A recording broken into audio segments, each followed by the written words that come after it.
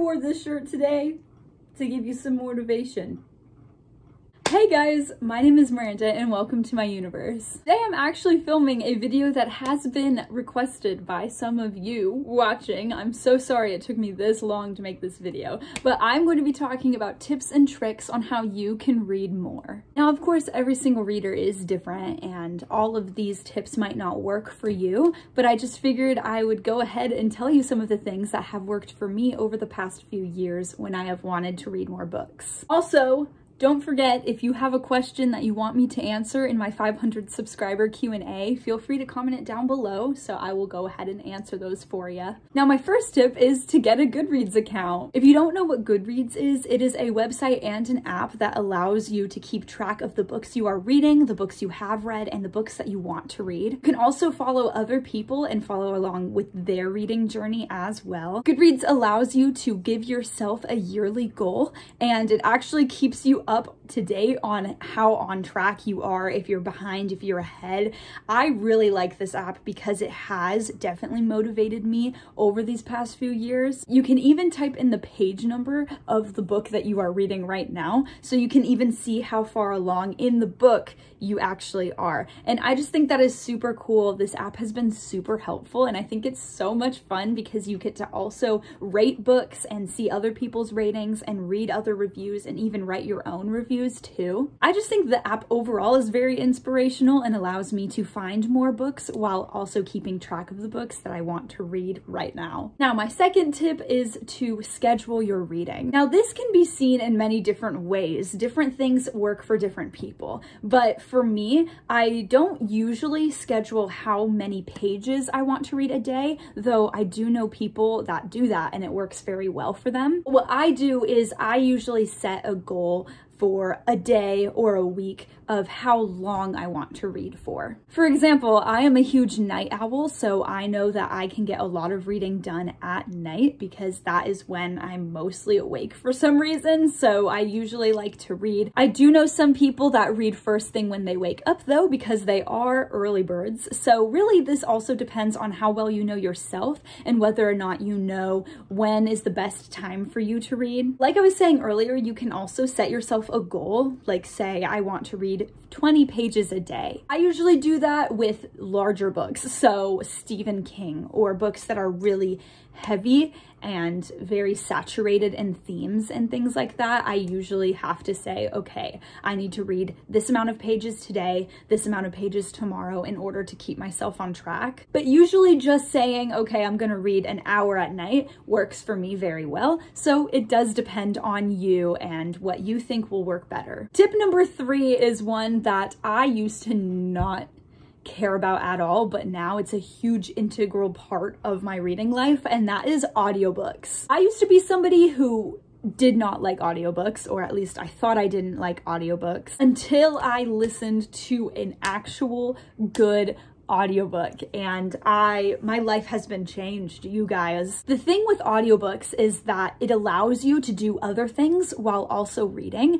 So you can be driving and listening to an audiobook. You can be waiting in line somewhere and listening to an audiobook. You can go for a jog. You can go to the gym and listen to an audiobook. I usually do my chores while listening to an audiobook. For example if I have to clean my room or if I have to do the dishes or fold laundry I'll just pop in my headphones and listen to an audiobook while I'm doing those. It just helps a lot because it allows me to actually be reading and actually be processing something while doing something that is usually super boring for me. There are a lot of audiobook subscriptions out there. For example, there is Audible, but there are also a lot of places that you can find free audiobooks. For example, YouTube is a big one. YouTube doesn't have every single book out there, but a lot of the classics, a lot of the older books have audiobooks that are actually on this app that you're on right now. There are also also a lot of apps that you could find that give you a lot of classic audiobooks. So there's one that I have, I'm pretty sure it's literally just called audiobooks, but if you look up through the app store, audiobooks, a ton of different apps will pop up. I get most of my audiobooks through my library card because my library card allows me to access my library's app, which then I get to actually rent out audiobooks, I get to rent out ebooks, and that actually brings me on to my fourth point, and that is to get a library card. Now, I know that we are going through this pandemic, but what I have done is research. and I have found out that a lot of libraries are giving away electronic library cards so that you can access their apps. Now, I live in Arizona, so I know that a lot of Arizona libraries are doing that. I am not sure about libraries in other places, but I would assume that they would do that as well because libraries are still trying to get through this. We're all getting through this together. They still want their books to be accessible to you even if you can't physically be in their library. Actually, at the beginning of quarantine, I kind of went on a craze and I got five library cards, I'm pretty sure by the end of it.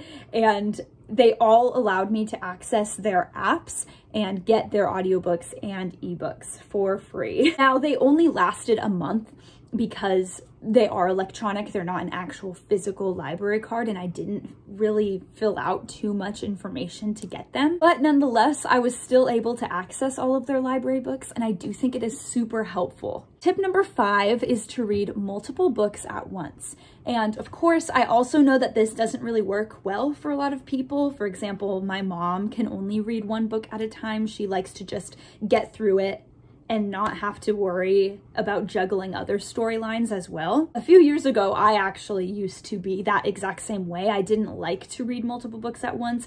And sometimes, like right now, I'm only reading one book, but for the most part, I really like reading multiple books. My coworker actually said it so well, except she said it about TV shows but I think that this can be applied to anything really. She told me that she always watches two different TV shows, one more serious or melancholy one, and then one that is more fun and upbeat. She told me that she does that because it allows her to watch whatever she's in the mood for. Because sometimes if you're watching a super serious TV show or reading a super serious book, someday you might wake up and think, you know, I really want like a light, more romance kind of book. And I think that is such a great way to explain it because I am such a mood reader. I like to read whatever I'm in the mood for. So if I read like a super serious or even a scary book, like if I'm reading a Stephen King book, I really like to also have another book that I'm reading on the side just in case I really don't want to dive deep into the fright zone anymore.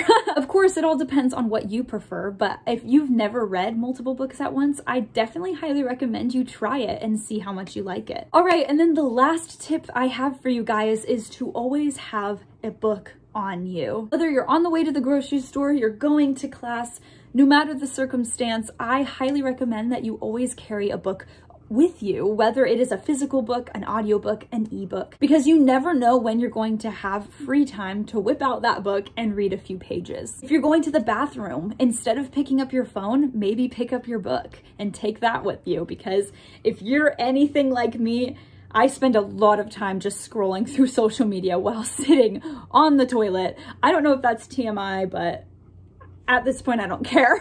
I have never once in my life regretted taking a book somewhere with me, but I have regretted not taking a book with me before. So I just say take books with you, listen to a YouTube audiobook, and you will have it on the drive to work. Take that physical book with you to school so that if your teacher shows up 15 minutes late, you have 15 minutes of extra reading time. I just think you can never go wrong if you always have a book with you. All right, and that wraps up my tips and tricks video. I really hope that you guys enjoyed it, and I hope that some of these will work out for you, and hopefully will get you to read more. Thank you guys so much for watching. I love you all. Please be safe, make good choices, and I will see you next time. Bye!